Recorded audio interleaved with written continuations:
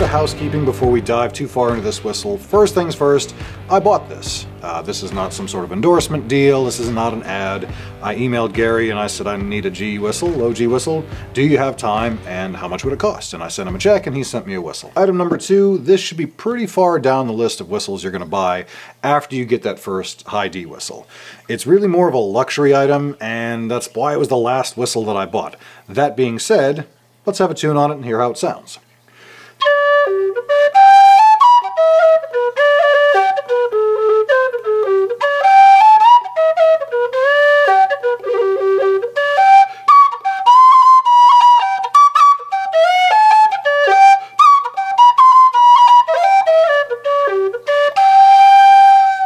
Got a really nice, soft, sweet sound, a lot like my F-whistle, which I've mentioned on this channel a few times is my favorite one to play. I have a feeling this will be edging it into uh, competition as far as practice time. I'm going to be using this one a fair bit more, just putzing around. Physically, it falls in between the A and the F whistles, which means you've got a couple of options as how you want to hold it and actually play the instrument. You can do fingertips, uh, as you would on a smaller, higher-pitched whistle. You can also do the, the piper's grip. I'm doing a bit of a hybrid myself, where I've got my bottom pinkies down here and everything is kind of falling across, but it's not quite as extreme as you'd get on the lower the low F or certainly a low D whistle. My advice there would be to try it both ways and see what fits the best.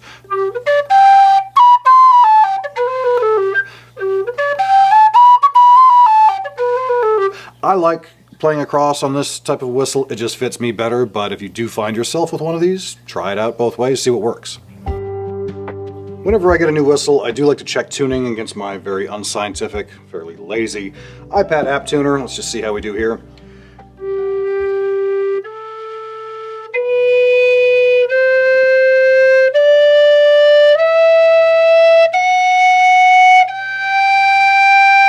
First octave is very solid. Not that I would have expected anything else. That's, you know, it's a professional instrument. Let's check the second octave here.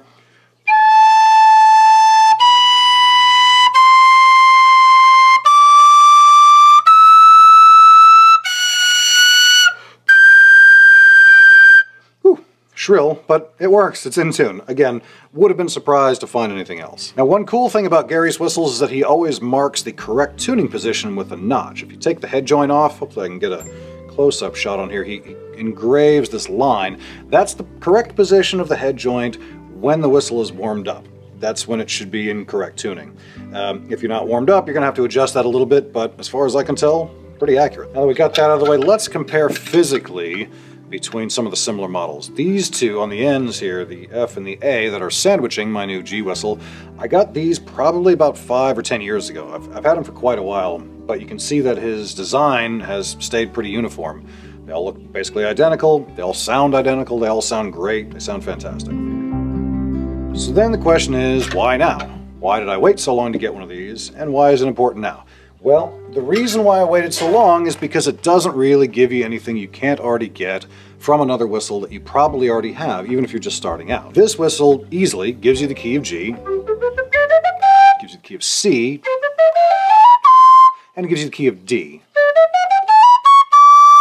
Now, you get the key of D in the hardest possible way to play it, what we would call A fingering on a D whistle. You get the key of G in what we would call D fingering, which is fine, interesting, but you also already have that. Then it gives you the key of C and G fingering.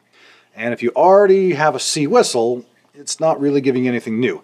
However, the reason why I got this and the reason why I was so excited was because it gives you the key of C with a few extra notes below.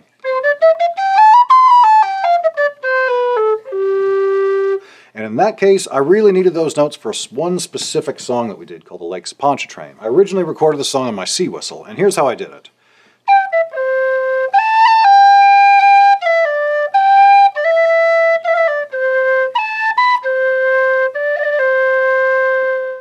Nothing inherently wrong with that, however, you have to jump the octave a couple of times.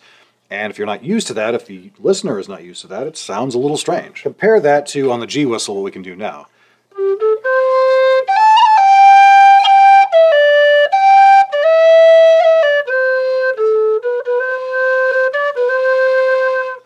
Because you have those extra four notes below the tonic, below the one, C in this case, you have some more flexibility that you wouldn't have had if you were playing the C as the lowest possible note.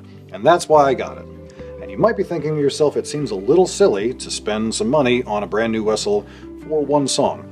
Not the first time I've done that, unfortunately, but you'd probably be right. However, I think I'll be able to work this into a lot of other stuff. That's going to be my goal, is, is finding ways to incorporate it because it is fun to play, and it gives a bit of a fresh look to a lot of songs that I'm used to playing a different way. If I'm used to playing, say, in the key of G, I'd be starting from here, gives me some other ways to think about those tunes, and that's what I'm really looking forward to. So let me know what y'all think of this whistle. Does it sound good to you?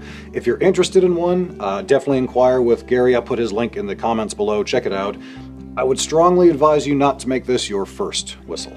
Start with a high D whistle and experiment from there and see what sounds good to you and see what whistles might fit the tunes that you want to play or the songs that you're looking to play. And uh, yeah, check it out, see what you think, give Gary a shout, let him know I said hi, and I will see you all on the next one. Cheers.